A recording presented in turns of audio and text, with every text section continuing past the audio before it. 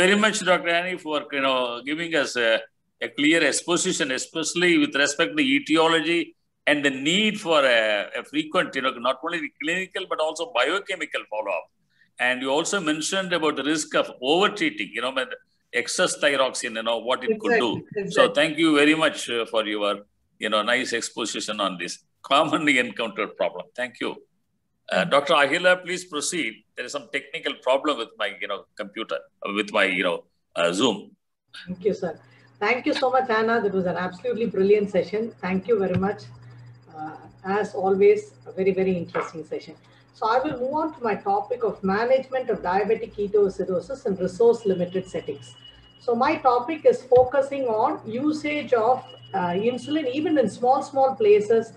If you have a diabetic ketoacidosis, you're anxious, you're trying to push them on to a bigger center where all the facilities are available. I just want to bring it down to the level of a primary pediatrician. This is an emergency which they can manage in their own small hospital setup. you don't need too many investigations. It may help you, but it is not going to uh, keep you away from treatment. So early recognition is the uh, base for treatment of diabetic ketoacidosis. If you suspect any child to have diabetes, that child should be admitted in the hospital stat immediately. Whether the child is stable, sick, it does not matter. I see any number of patients being asked to wait and have a OGTT the next day to confirm diagnosis. Please don't do it. Any blood sugar more than 200, that patient has to go to the hospital. There is less than 5% chance of that being a type 2 diabetes. The child can dip into diabetic ketoacidosis by the time you confirm a diagnosis. And instead of a stable child, you're going to treat a very, very sick child and face complications. If you diagnose diabetes, if you check one blood sugar more than 200, that patient has to go into the hospital stat immediately. I think that's the most important point any primary pediatrician can take from this lecture. The next point, more than all investigations and everything else, it is clinical judgment that is paramount in treatment of diabetic ketoacidosis. You don't need high funda equipment. All that you need is an ordinary IV fluid stand, IV fluid, your fingers to palpate the pulse, and all the peripheral pulses. Look at the dorsalis pedis, the posterior tibial, count the pulse rate, count the respiratory rate, look at the blood pressure, look at the respiratory rate. These are the most important thing. The pulse rate, the pulse volume, the capillary refill time, the blood pressure, and the respiratory rate. These are important Slide rather than any other investigation. So clinically, I think everyone knows this. The child could have dehydration, tachycardia. You could mistake it for an asthma. But nowadays, I'm not seeing uh, pediatricians missing diagnosis. More of GPs missing diagnosis because all pediatricians make it a point to check blood sugars now. I I don't see uh, di- diabetes being missed by pediatricians now. And the most important biochemical point is blood glucose more than 200 milligram per dl. That's it. If you cannot do urinary ketones, you don't do blood ketones, don't worry about it. You cannot do electrolytes, don't bother. You have a blood sugar of more than 200, look at the clinical status. Is the child stable or unstable? So, how will you assess dehydration? So, in children under the age of five years, the clinical signs of dehydration include a prolonged capillary refill time, loss of skin turgor, and an abnormal respiratory rate, slightly more than the rate for that age. If the child has impalpable or weak peripheral pulses, or oliguria or hypotension, then it is more than 10% dehydration. Anything between both of these is 5 to 10% dehydration. What are the goals of therapy? All of these are based on the International Society of Pediatric and Adolescent Diabetes, ISPAD guidelines 2018. It is available freely for anyone to access. This is what we based our therapy on. We used it and then we modified it by frequent audit to see how we could improve our therapy correction of dehydration fluids fluids and fluids is the most important point you have to focus on second comes acidosis third is reversing ketosis acidosis. Reverse osmolarity. Hyperosmolarity is present because the patient has lost more fluid than they could take in. So this child is hyperosmolar. Don't rush into correcting it fast. So the basic dictum is look at the fluids and correct the fluids. That is more important and the correction of blood sugars comes far down on the list. Monitor for complications and treat precipitating cause. So fluids are the most important point and clinical judgment. These are the two important tools in management of diabetic ketoacidosis. Around the world, the diabetic ketoacidosis patients are admitted into an ICU or a high dependency unit, HDU. IV fluids used are normal saline or ringer lactate. They do frequent blood gases. They do a Glasgow coma scale for assessment of neurology and initiation of ventilation. They restrict fluid when there is an alteration in consciousness and IV insulin is used for treatment of moderate and severe diabetic ketoacidosis. These are charts I think everybody would be familiar with. Look at the first point, shock. That is reduce peripheral pulses and reduce consciousness. And I see a lot of people having a bias during assessment of consciousness. Glasgow Coma scale invariably goes at less than 8 or 9 whenever people assess and they think this child has to be ventilated. So I actually don't depend on Glasgow Coma scale at all. I depend on the mother's voice. If the mother calls the child and the child even has a flicker of eye contraction, I don't, I'm actually against this child being ventilated. Only if the child has an unstable airway or if the child is on the verge of a respiratory arrest, this child has to be ventilated. Otherwise, please hold on to your ventilation parameters. You can cause more harm than uh, help. So please look at your clinical status. Glasgow coma scale is something I'm not at all happy in diabetic ketoacidosis. You have to remember Glasgow coma scale was primarily designed to evaluate patients with trauma. So that has been applied to all other clinical scenario. I think it has its own limitations in certain scenarios. So in protocol at the G at GKNM over the last, I think now it's almost 10, uh, I think 2014. So seven years now, we have stopped uh, looking at all those parameters which we were earlier doing. And in Masonic also, over the last two, three years, we've again shifted to the same protocol. The patients are admitted in, in GKNM, it is in the general ward. Minimal invasive management, concentration is on slow and judicious correction of fluid status. Mom's call is more important than Glasgow coma scale. No tubes unless it is absolutely necessary. So I think all of us know the Glasgow coma scale. I think all of us also know about your anion gap uh, and how to calculate for corrected sodium and the effective osmolality. So that is dependent on sodium and plasma glucose. So when you have more and more glucose and with less of fluid, your plasma becomes, I mean, sodium becomes more concentrated. So the osmolarity is really high in severe DKA. So as soon as the patient arrives, pulse assessment, which all of us keep on redoing, pulse and BP will be important in defining whether this child, even in a sick child, to see whether it has compensated or uncompensated shock to assess the circulatory status. If the child has tachycardia and the blood pressure is on the higher side, that is compensated shock. If the child has started to go into bradycardia or if the child has started to go into hypotension, then it is uncompensated shock. So this is the most important point from the pulses and the blood pressure that you're going to get. Level of consciousness, again, as I already mentioned, nothing. Assess, assess the severity of dehydration from the clinical features.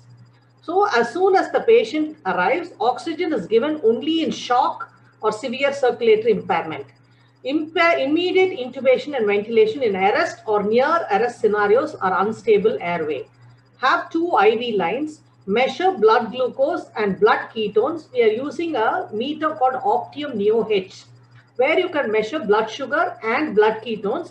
The ketone strip will be different, the blood glucose strip will be different. It is very cheap, not like sending to a lab, and you can immediately see the blood ketones. If it is more than 3 millimoles, then it means the child is in ketosis. Urinary ketones, if you cannot afford or if you don't have a facility for blood ketones. But remember, the urinary ketones are reflecting something that happened a few minutes or a few hours ago. But in children who are sick, they are completely pouring out urine. So it actually may reflect the status of blood ketones. But it is acetone that is measured in urine. And the maximum uh, ketones in the blood is beta hydroxybutyrate measure the weight if you can, or you can assess it by your uh, chart. Blood sample for investigation is taken and antibiotics only if the child has fever or has a source of infection. No antibiotics otherwise.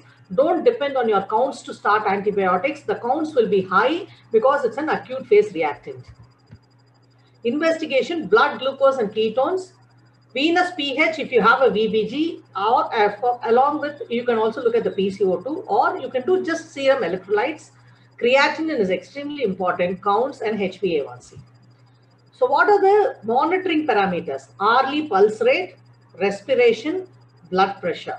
Cardiac monitoring if you can. You can just use your fingers to feel the pulse, look at the capillary refill time, look at the dorsalis pedis and the posterior tibial Early examination for early signs of cerebral edema. When the child comes and is very sick with acidosis, there is already a damage to the brain and that is why there is an alteration in the consciousness. That is some amount of cytotoxic edema. Don't restrict your fluids because the child's consciousness is not good. You need huge amount of fluid to correct the hyperosmolarity, but gradually so fluid restriction has to come if there is a new change in the neurological status. In a child who did not have a neurological abnormality, if there is constriction of pupil or unequal pupils, a new neurological sign like a sixth nerve palsy or something, then you take it as an onset of new cerebral edema and you will restrict fluids. Until then, continue with your fluids. An input-output chart is extremely useful. I don't like putting in a urinary catheter most of the children have vaginal candidiasis or candida in the glans and you're driving in a superficial infection into the body using a catheter. The children will pour urine in diabetes and you can just weigh the uh, diapers and look at the amount of output rather than putting in a tube. If the child has retention of urine or the child is, you're going to ventilate a child, you're going to paralyze and in those scenarios, or if there is anuria or oliguria, please put in a tube. Otherwise, please be extremely wary of using urinary catheters.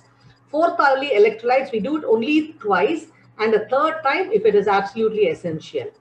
Intubation is avoided because it can cause a sudden increase in PCO2 and can worsen cerebral edema we don't like central venous catheters. We start a, uh, an external jugular if you don't get a peripheral line, but otherwise we go for the peripheral lines. And then once the child is stable, we take off our central lines. High risk of thrombosis and removed as soon as the clinical condition permits. Insulin through the central line, it could be diluted. You may not get the expected effect if you're using intravenous insulin. We've already talked about the catheterization. I think this fluid chart is already there on the ISPAD. That is the Holliday-Segar formula for children up to the weight of 10 kgs is 100 ml per kg per day. This is the maintenance requirement. So if you're do, going to do it for 24 hours for a 10 kg child, it is 20, uh, 10 kg, so 100 ml per kg per day, so that's 1000 ml. If it is for 48 hours, then the maintenance becomes 2000 ml. So that is the maintenance requirement. If it is for 72 hours, then it is 1000 plus 1000 plus 1000 for three days.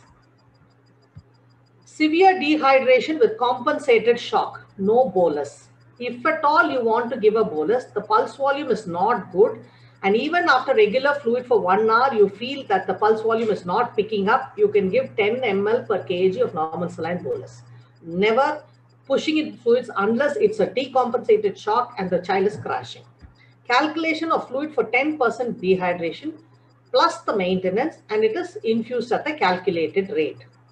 Fluids are calculated for 48 hours in children older than 5 years and 72 hours in children under the age of 5 years.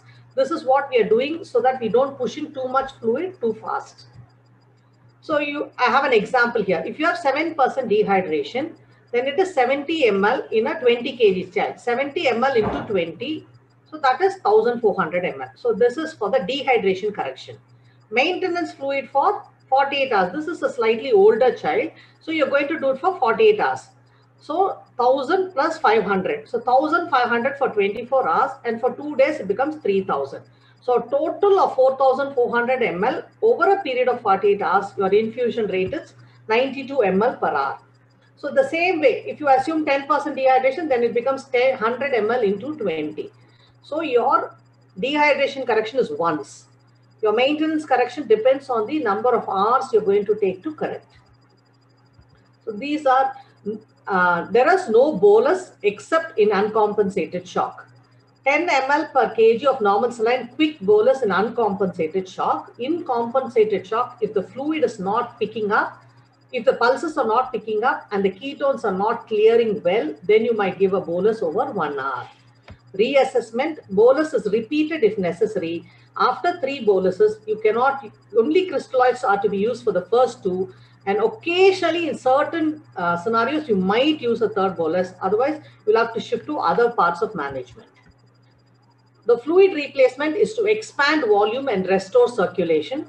Replace fluids over 48 hours, dehydration correction plus maintenance.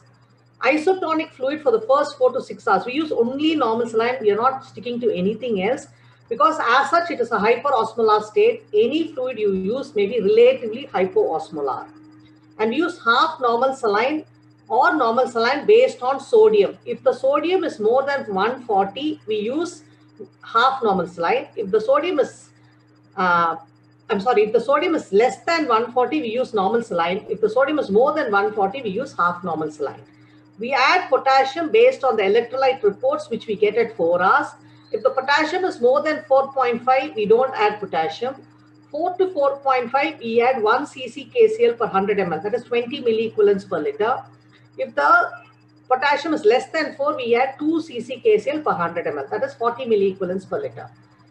For children under the age of uh, 5 years, our target is 300 milligram. If the child's blood sugar drops to less than 300, we make it 5% dextrose containing normal saline or half normal saline. If it is a child who's older than 5 years, the target is 250.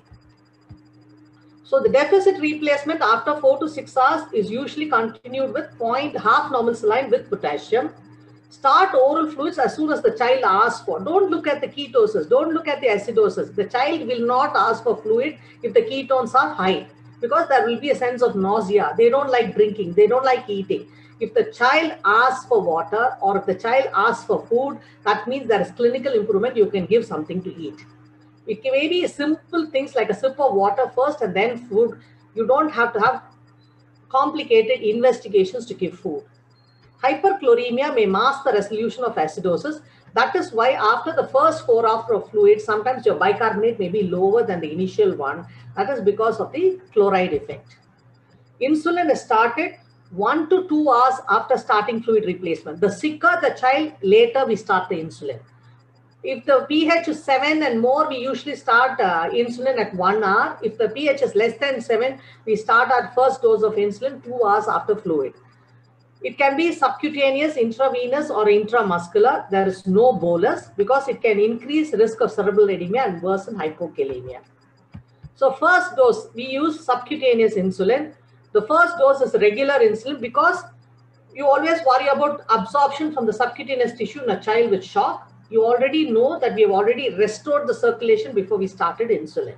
So we are using regular insulin 0.05 to 0.1 unit per kg. The first dose is a lower dose. So we use 0.05 and the younger the child, lower the dose again. If the pH is more than 7 after 1 hour, if the pH is less than 7 after 2 hours of fluid. And then uh, for every 3 hours after that, we use 0.1 unit per kilogram. In peripubertal children, during puberty, they are insulin resistant. Sometimes we go as high as 0.15 unit per kg every 3 hours. So I already mentioned about the target that you are going to look at. If the glucose concentration drops, you first step up the glucose concentration to 6.75% and then 7.5% and then only you start reducing the insulin. You have to keep continuing the insulin and increase the glucose concentration rather than uh, reducing the dose of insulin. So uh, I already mentioned about all of these points earlier. Okay, bicarbonate. We almost never use bicarbonate. It can cause paradoxical CNS acidosis. Rapid correction of acidosis with bicarbonate can cause hypokalemia. You also worry about your uh, pontine uh, myelinolysis. We very, very rarely, I have, I mentioned because Professor uh, um, Ramasamy sir asked me the other day on uh, the scenarios where you use bicarbonate. After the initial stabilization, persistence of acidosis is seen in certain scenario like prolonged sepsis or renal failure. In those conditions, I add bicarbonate, but not in the immediate resuscitation period. It is later. In life-threatening hyperkalemia, that's one scenario where you can use uh, bicarbonate.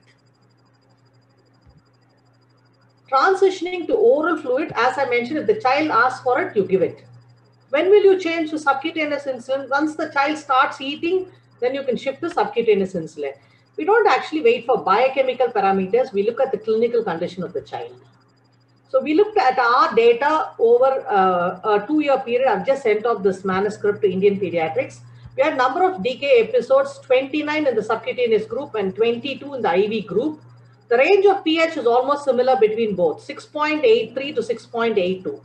The dose of insulin used in both the groups per day is almost similar. But look at the time to recovery. We were really surprised. We were actually doing this to cut costs to help poor families manage diabetic ketoacidosis in our hospital. But what we realized, another benefit was the mother gets to stay, the family is nearby, the child is less anxious. So we were treating in the general ward. But when we looked at our data, we saw that the time to recovery in patients on subcutaneous insulin, the mean is 10 hours, whereas it is 35 hours in children on IV insulin.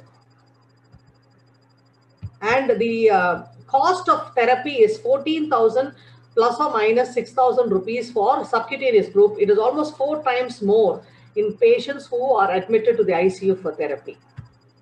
So this is our data on how the recovery happened for intravenous insulin and the subcutaneous insulin.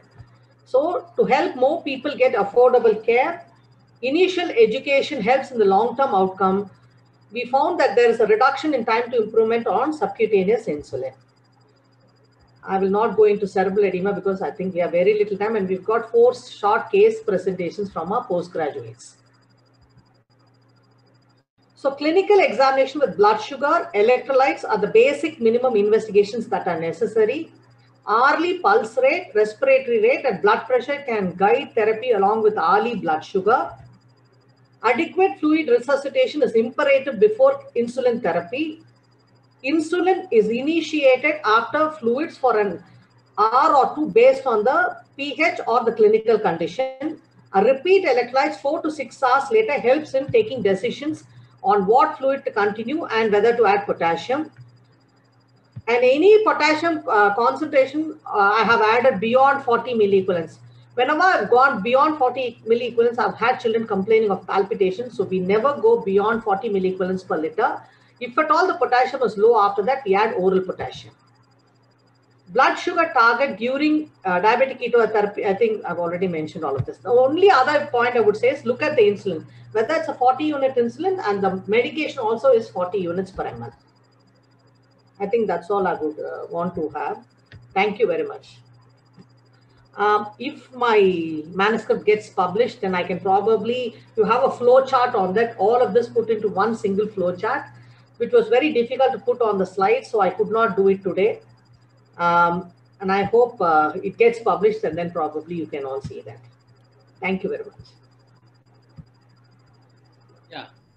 Uh, uh, um, Ahila, it's absolutely wonderful. Uh, I, am very glad that you have made it a, a, simple, inexpensive, and it could be practiced by the pediatricians. I think this is really the need of the hour, unlike following that intravenous insulin and uh, ICU care, etc., etc. So I can, you know, I cannot agree more on all the points that you mentioned. Indeed, before all the endocrinologists came on the scene, this is what I had done after many of my diabetic ketoacidosis. I never lost any child uh, diabetic ketosis, nor did I have any cerebral edema. So I think, you know, I, I really cannot agree more, as I mentioned earlier. So any questions, I think uh, you, you, please, you know, uh, attend to those questions.